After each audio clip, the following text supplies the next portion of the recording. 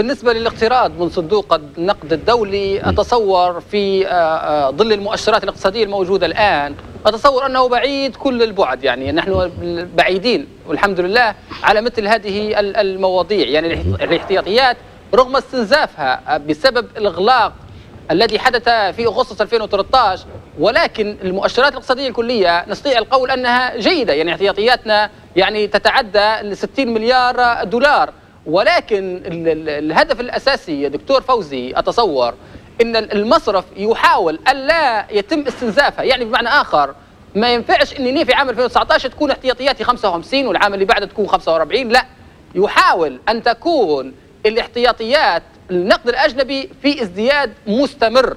حتى ولو بشكل نسبي بسيط. أضعف الإيمان أن تكون الكميات الداخلة من النقد الأجنبي تساوي الكميات الخارجة. ولا يكون هناك استنزاف.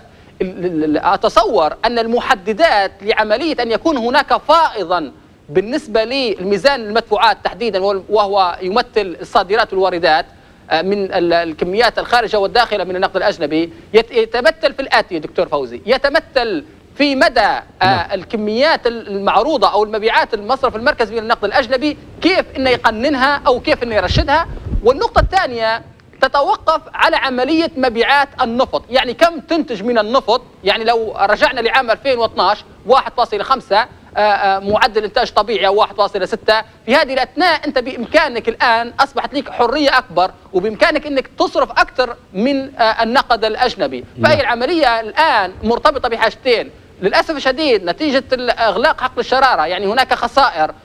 أيضا انخفاض أسعار النفط من من جانب آخر. وانت عندك مخصصات لأرباب الأسر تقريبا 1500 دولار بالإضافة إلى فتح الاعتمادات المستندية. يعني من ناحية اقتصادية أتحدث هنا أو ربما أتبنى رؤية المصرف المركزي الغير معلنة. أتصور أنه ينظر إلى مثل هذه نعم. الأشياء في عين الاعتبار. ولكن نعم. ذلك لا يمنع يا دكتور فوزي إنك تقوم بالتخفيض التدريجي لسعر الصرف.